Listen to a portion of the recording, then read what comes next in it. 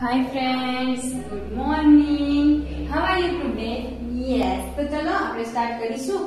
Start કરતા પહેલા day date name roll number લખવાનું ભૂલવાનું નહીં. હવે છે ક્વેશ્ચન 1 લર્ન લર્ન એટલે શીખો લર્ન એટલે શીખો. તો આપણે શું શીખીશું?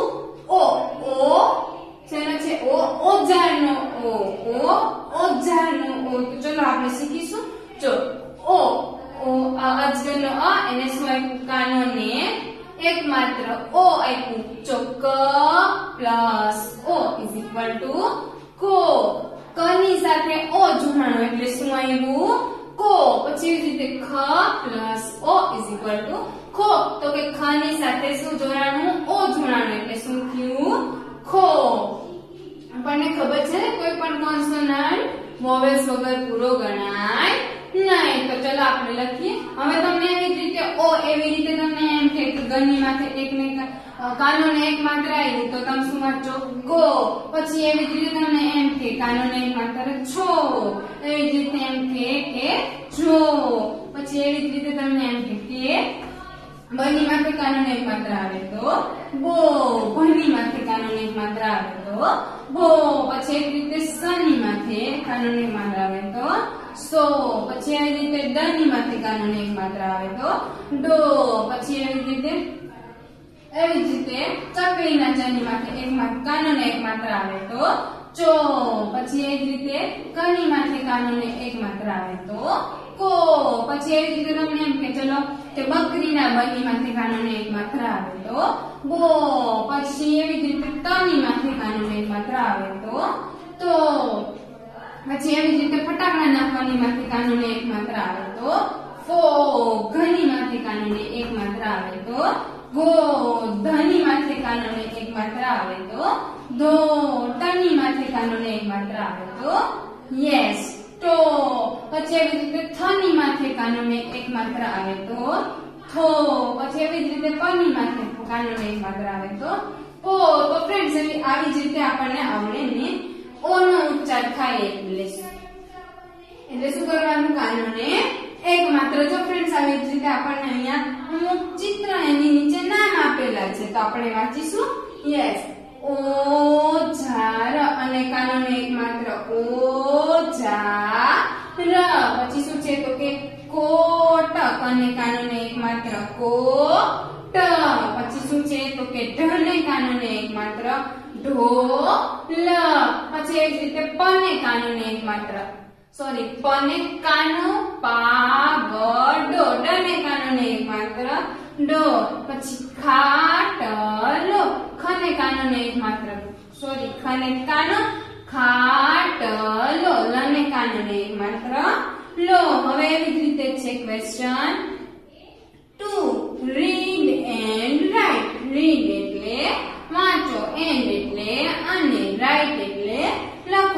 વાંચો અને લખો. તો ફ્રેન્ડ્સ આ તો આપણને ખબર જ છે ને? યસ આપણે કઈ બે લાઈનમાં લખવાનું? નાની બે લાઈનમાં. તો કે કો. પણ આપણે એમાં છે ને કને ને એક કો. એવી રીતે વાંચી તો બહુ બધી વાર લાગે ને? યસ તો ચલો આપણે સીધું વાંચીએ. કો, ખો, ગો. પછી શું આવે? ઘો. પછી યસ ચો છો, જો, ઝો, ટો, ઠો. પછી શું આવે? યસ ડો. એ ડો પછી શું આવે? યસ અને ફ્રેન્ડ્સ આપણે નાની બે જ લાઈનમાં લખવાનું, એ ભૂલવાનું નહીં. તો કે ઢો હમ તો, થો, દો, ધો, નો.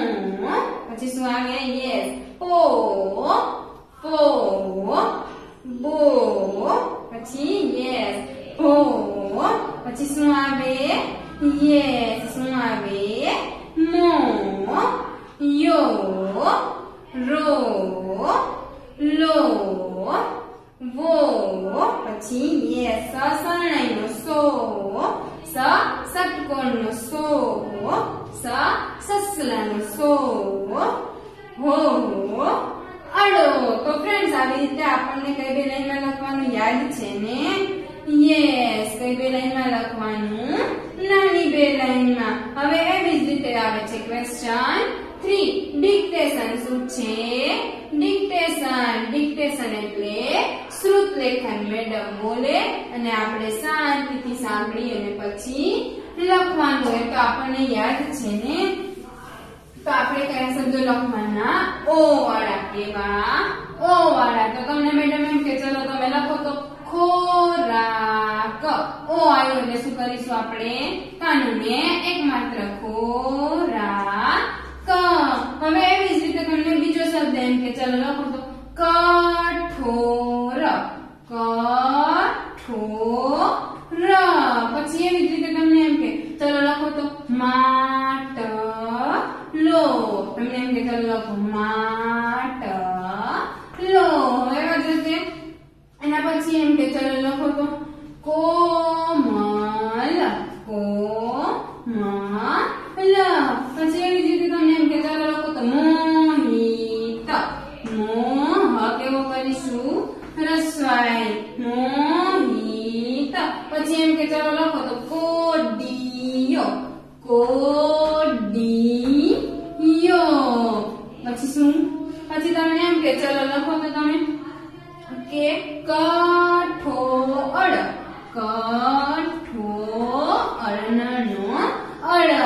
પછી તમને એમ કે ચલો લખો તો ઓ ર ડો.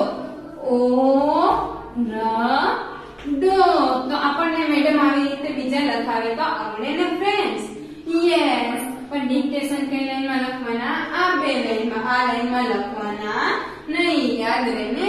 Yes thank you friends